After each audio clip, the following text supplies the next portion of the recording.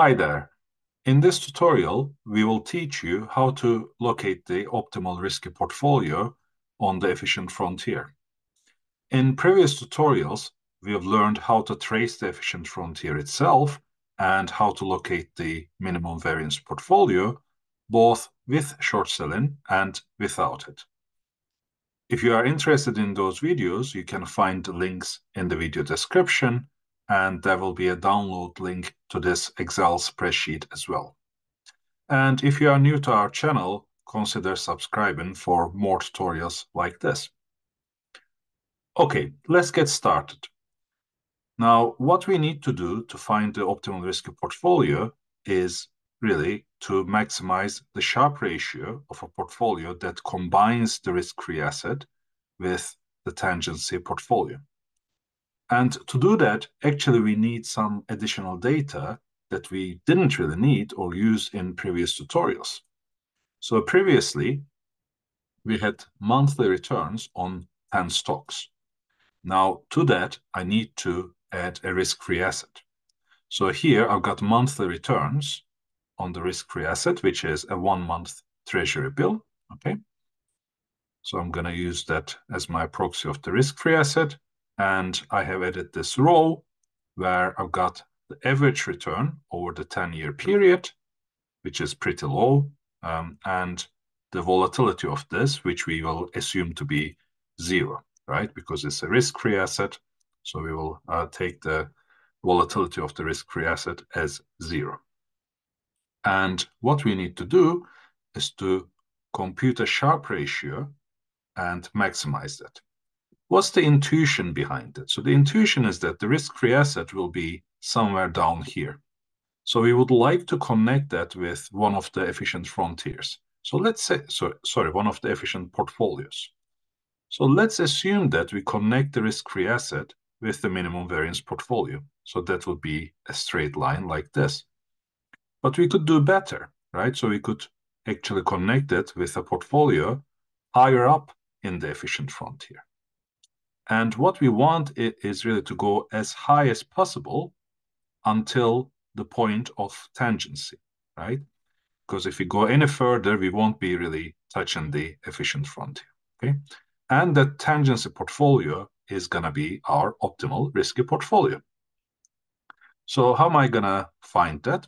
So first of all, let's compute our Sharpe ratio. So remember, Sharpe ratio is a reward to risk ratio. So the reward is the excess return on the portfolio, which is found by taking the portfolio return and subtracting the risk-free return from that. So this is the reward part. So we will divide this by the risk of the portfolio. Okay. And here we are. So this is the Sharpe ratio for this particular portfolio over uh, the 10, 10 year period. Okay. Now, what you need to do is to go to Solver. You would remember from previous uh, tutorials that in, uh, we have always minimized the risk of the portfolio subject to the investment weights adding up to one, right? So we were changing these cells with the constraint that they will add up to one, and we were trying to minimize the risk of the, our portfolios.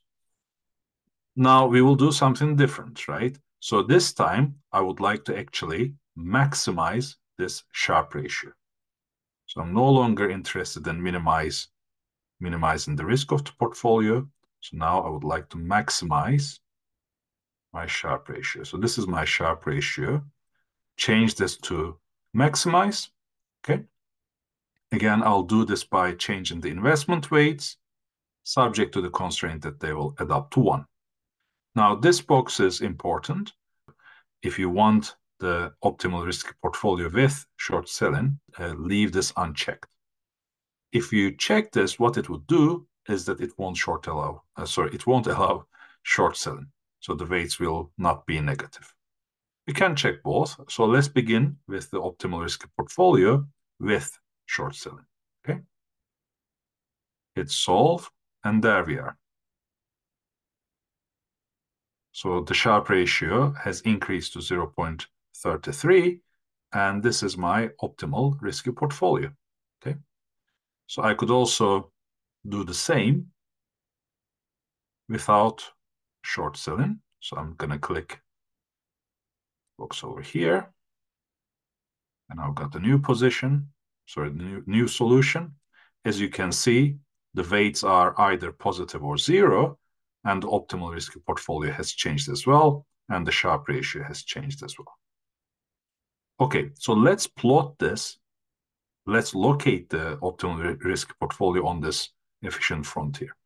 And because this is the efficient frontier with short selling, which I had uh, plotted in previous uh, tutorial, I'm gonna work with the optimal risk portfolio with short selling. So I'm gonna uncheck this again and solve again. Here we are. As you can see, there are some negative weights.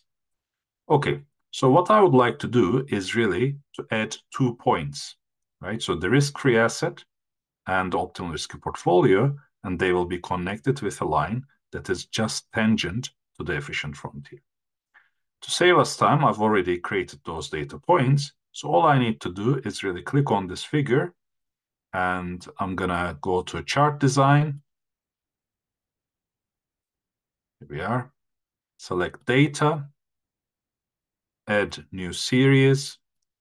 X values will be these two values over here and y values will be these two. Okay, and okay. So as you can see, it had added two data points. So this is the risk-free asset. This is the tangency portfolio. So now let's format this a bit nicer. I'm gonna make it bigger. So first of all, so first of all, let's add our data label here. Okay. So this is my optimal, my optimal risky portfolio, or let's say tangency portfolio. Tangency. All right.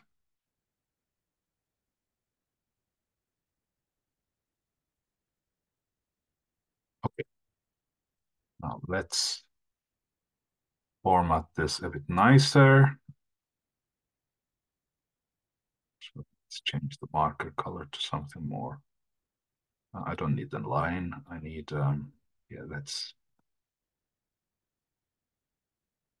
let's make them a bit larger so we can see it easier. And let's change the color to something easier to see. Okay, so this is the tangency portfolio. Now, what I can also do is I can add a trend line, right? And I will also have a forecast so that it just doesn't stop here and goes a bit further ahead, right? So let's put something like 0.08. So as you can see now, it's been extended up here. Again, the colors are quite terrible. So let's change that.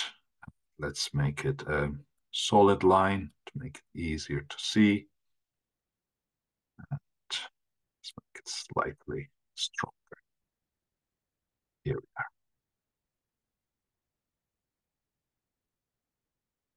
Almost there. So let's make this also nicer.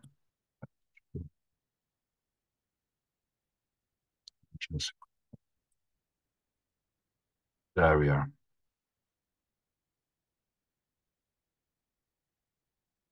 So this is the line that connects the risk-free asset to the tangency portfolio, and I have located it by maximizing the Sharpe ratio, right? Now, according to CAPM, this tangency portfolio is the market portfolio. Let's bear that in mind as well. Okay, I guess that's all I want to uh, cover in this tutorial. I hope you have found it useful, and I'm looking forward to seeing you in the next video. Bye for now.